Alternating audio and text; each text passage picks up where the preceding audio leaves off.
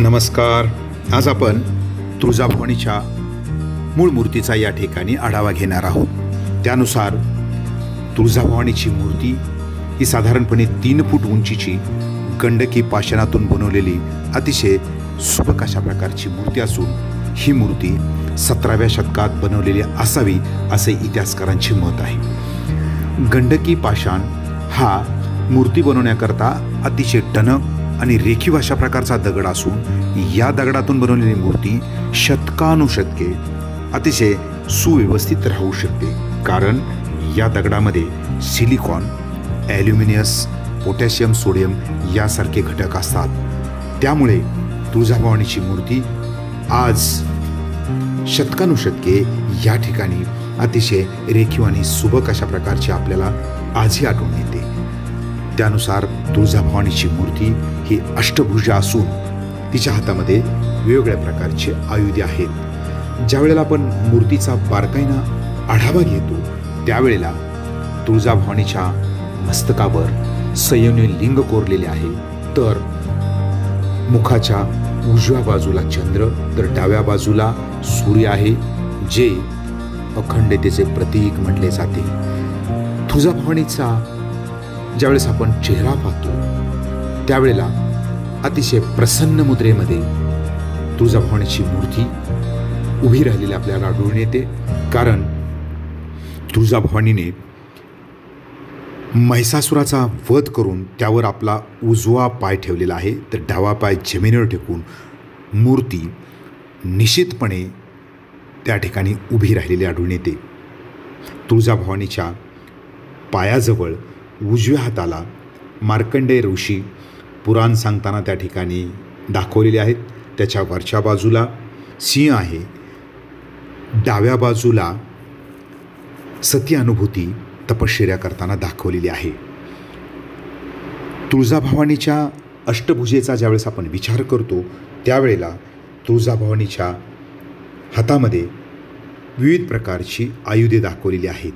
त्यामध्ये उजव्या बाजूनी खालून वरच्या बाजूला जात असताना पहिल्या हातामध्ये त्रिशूल आहे ज्याने तुळजाभवानीने महिषासुराचा वध केलेला आहे. त्याच्या वरच्या हातामध्ये बिछू आहे त्यावर बाण आहे त्याच्या वरच्या हातामध्ये चक्र तर तुळजाभवानीच्या पाठीवर बाणाने भरलेला भाता दाखवलेला आहे. तुळजाभवानीच्या डाव्या हाताकडे वरच्या बाजूला ज्यावेळेस आपण पाहतो त्यावेळेला पहिल्या हातामध्ये शंख आहे दुसऱ्यामध्ये धनुष्य आहे तिसऱ्या हातामध्ये पानपात्र शेवटी डाव्या हातामध्ये खालच्या बाजूला म्हैसासुराची वध करून त्याची गर्दन शेंडीने पकडलेले आपल्याला आढळून येते. याचबरोबर तुळजाभवानीची जी मूळ मूर्ती आहे या मूळ मूर्तीला अलंकाराने अलंकृत केलेली आपल्याला आढळून येते. त्यामध्ये तुळजाभवानीच्या कानामध्ये कर्लकुंडले आहेत गळ्यामध्ये मंगळसूत्र आहे. कमरेला कमरपट्टा आहे आणि मैसासूर मर्दिनीचं प्रतीक म्हणून तुळजाभवानीने शिला बांधलेला त्या ठिकाणी दाखवलेला आहे. दंडामध्ये बाजूबंद तर हातामध्ये भांगड्या आहेत. पायामध्ये तोडा पैंजन जोडवे यासारखे आभूषणं कोरलेली आपल्याला आढळून येतात.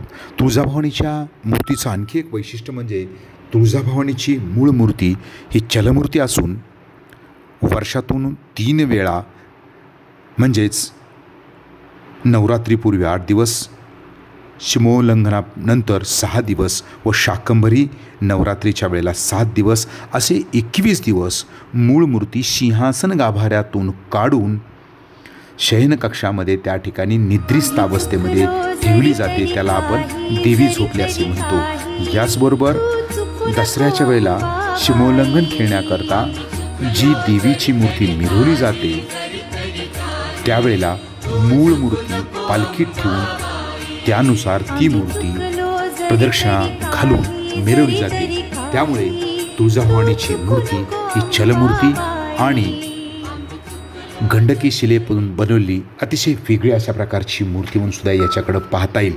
मात्र याच वेळेला प्रशासनाच्या विनंतीवरून राष्ट्रीय संशोधन प्रयोगशाळा लखनौ येथील या प्रयोगशाळेचे संचालक बी व्ही खरबडे यांनी सहा जून दोरा दोन हजार तेरा साली या मूर्तीचं निरीक्षण करून काही टिपणं नोंदवलेली आहेत. त्यावरून प्रशासनाने काही बदल करून या मूर्तीचं जतन केलेलं आपल्याला आढळून येते. हा व्हिडिओ आपणास कसा वाटला? याविषयी जरूर कमेंट करा. त्याचबरोबर अशाच प्रकारचे व्हिडिओ आपणाला समजण्यासाठी चॅनलच्या खालच्या बाजूला लाल बटन दाबून सबस्क्राईब करा.